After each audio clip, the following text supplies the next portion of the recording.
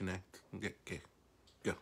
Osgwael, Yewan Hath and Squalwin Teetsits, Nathan Cheximiya Kashaman, Allison Queen Sna, Tenachin Claw Homolchison, Ochomeo, Skohot Me Shoth, Anwanok Squalwin, Eothan Sequatals.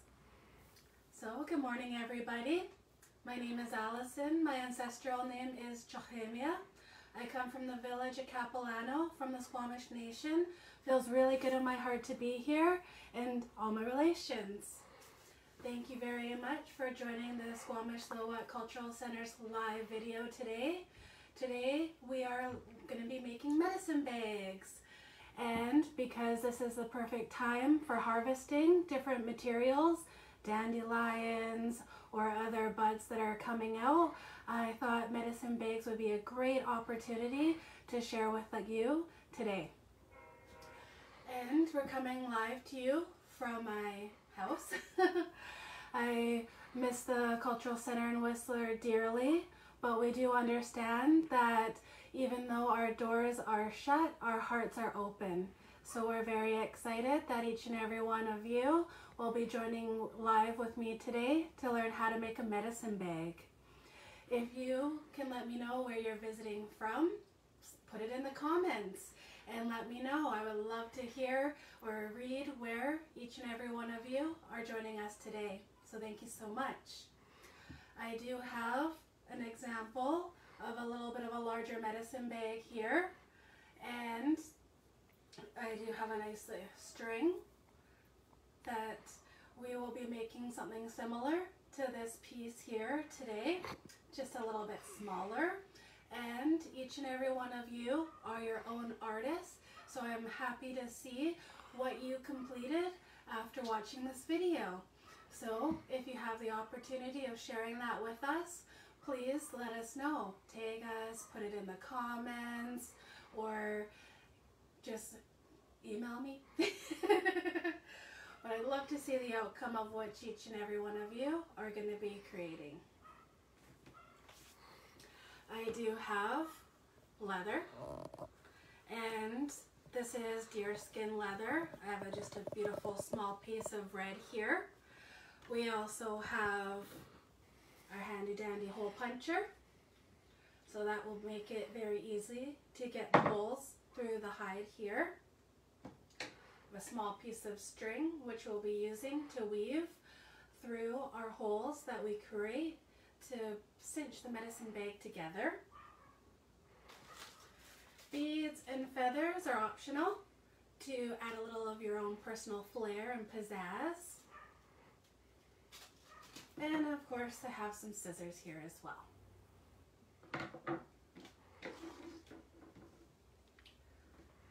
Everybody ready? So, the first thing that we need to do is get our leather material out here. For those of you that don't just have buckskin like I do at home, I do suggest using a, a stronger, thicker material, something like an old pair of jeans you can cut up, and that will work in place of the buckskin. I do have this piece here, which is roughly the size that we're looking for. And as I don't like to waste when I'm working with my buckskin, we'll try to find a nice area where we're not going to cut away too much. That looks great right there.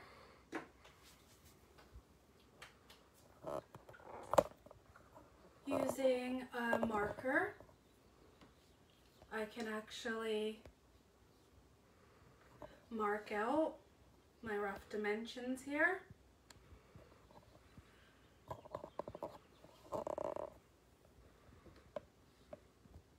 There we are.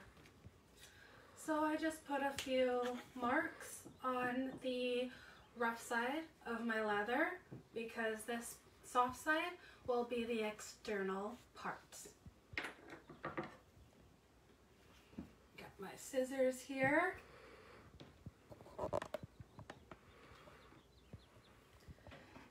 And just cut until we get to our marker. Hi, Opie. Here we're gonna keep cutting. For those of you who've been watching some of my live streams or watching the recorded versions, you all know my cats love to come and say hello. Now I'm gonna connect my cuts together. Move away our excess. And there we go. Got a nice little rectangle to work with here. This shiny, nice soft side will be our outside. The rougher side will be the internal piece. And what we're gonna do now is we are gonna fold our piece, not quite all the way to the top because that'll be our flap.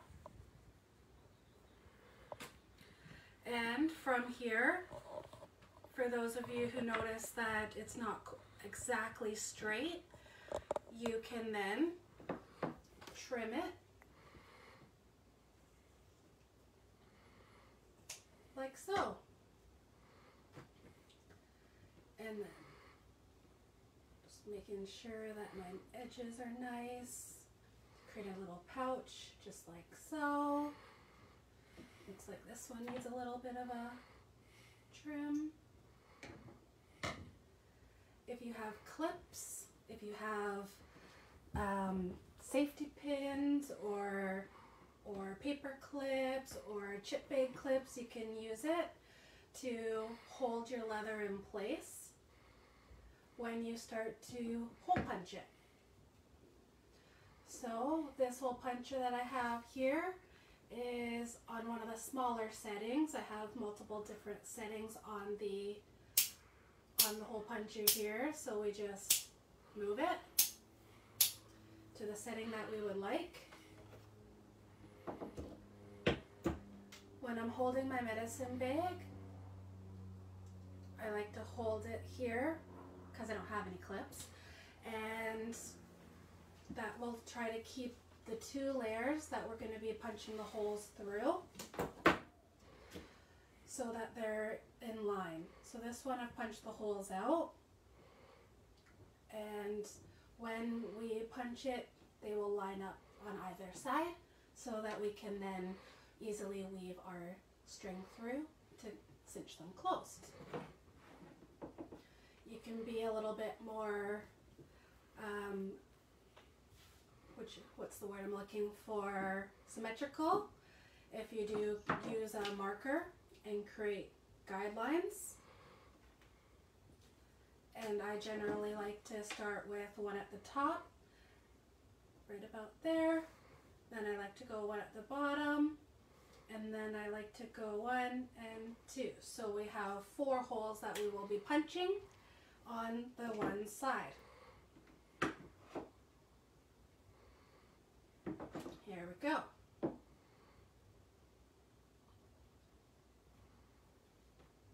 One.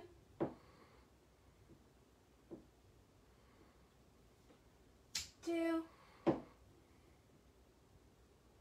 Three. Four. We're going to continue on the other side making sure that our holes stay lined up. Flip it to the other side. We're going to carry on.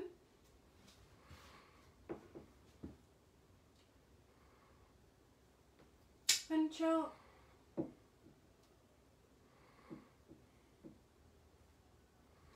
Hot nose. John up. A little bit, so I'm just going to line it back up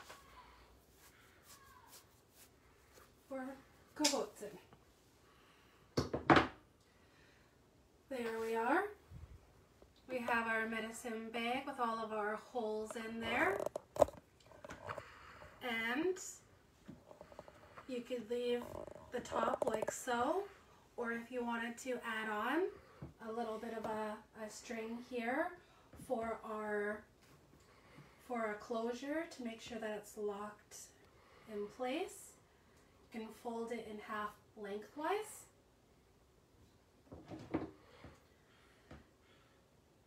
Do a nice hole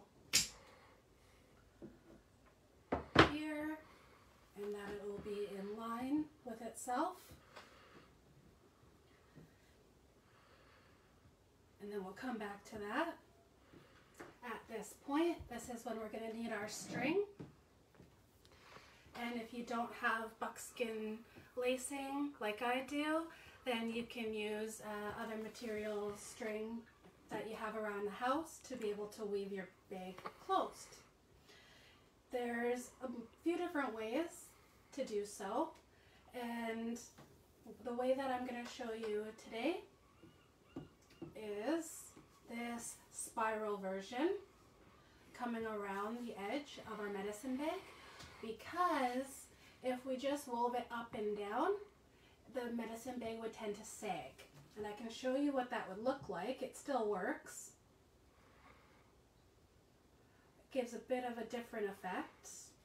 So we go up through the back to the front and then back down so and back up through the other side. So just like our weaving, back and forth, up and down, like so.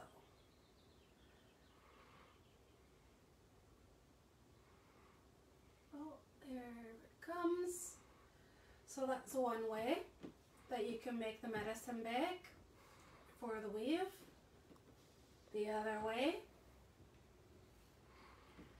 is to start again from the back side through the front hole, giving yourself some room to work with.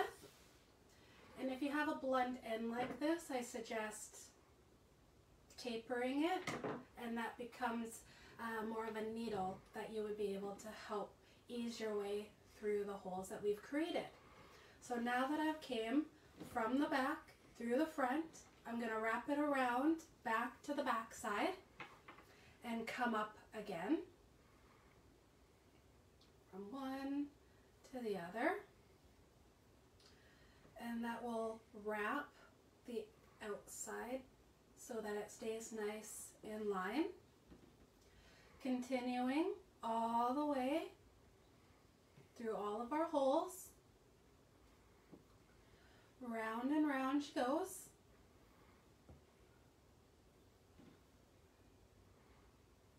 And the last one, there's one side, and the other side.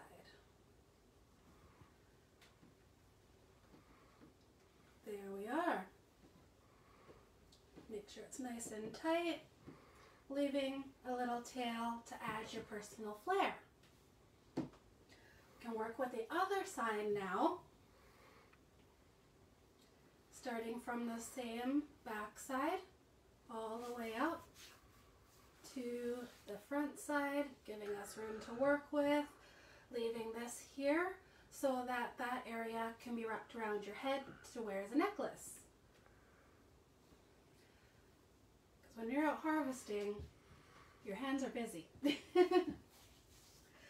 so again, taking my string, wrapping it around from the back side, through the holes up to the front and continuing this process all the way to the bottom.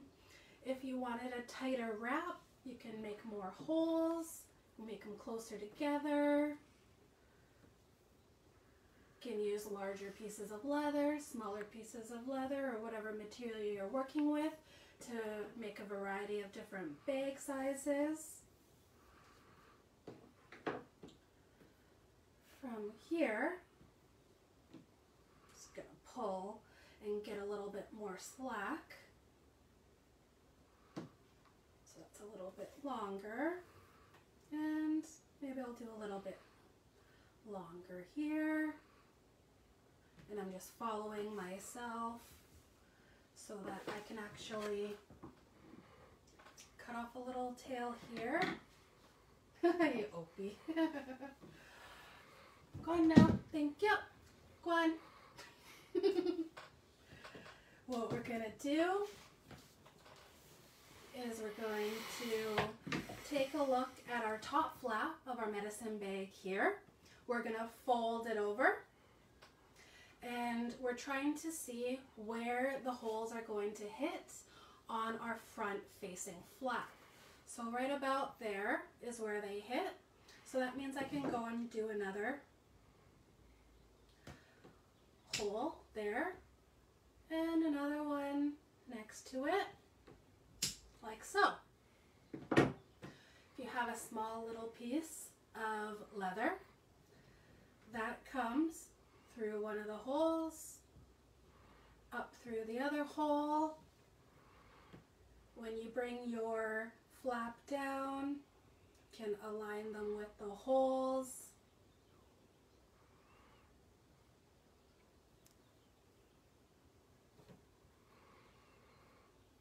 and do a little tie. And that way it's locked closed.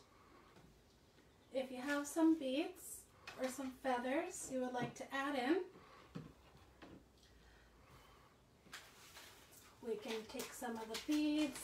We can actually put them onto our leather pieces here in whatever sort of pattern or interest you would like.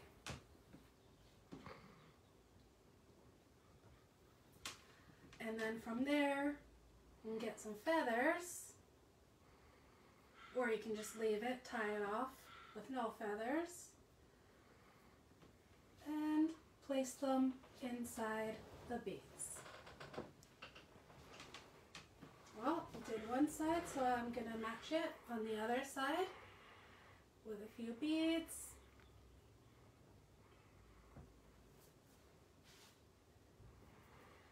So again, if you are joining us now, please make sure to put it in their comments where you're visiting us from. Love to see how people are are learning about the different things that we're doing. So make sure that you post pictures in the comments as well. And as the Cultural Center in Whistler is a not-for-profit cultural center, if you're looking to support us in different initiatives with our crafting videos or other pieces, feel free and go to the www.slcc.ca website. There is an area where you can donate or buy a membership. There's also multiple beautiful resources in that uh, backslash from home section where we actually have multiple different pieces that people can continue learning from home. So those of you who aren't able to join me live today, this video will be saved in that section of the website. So there we are. We have our very own medicine bag and I have some feathers, some danglies, some colors. This area was left open so that when I'm out harvesting, I can wear it around my neck, add stuff into the pouch as needed. And medicines could be all sorts of things.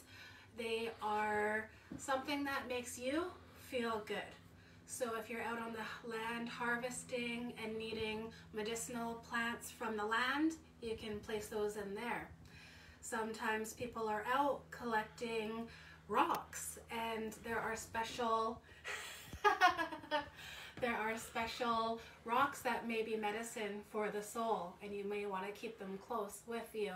Some people have also told me that they use their their um, medicines that come from the pharmacy and place them in here as well. So possibilities are endless when you, as your artist, can create multiple different things with the techniques that I've shown you today.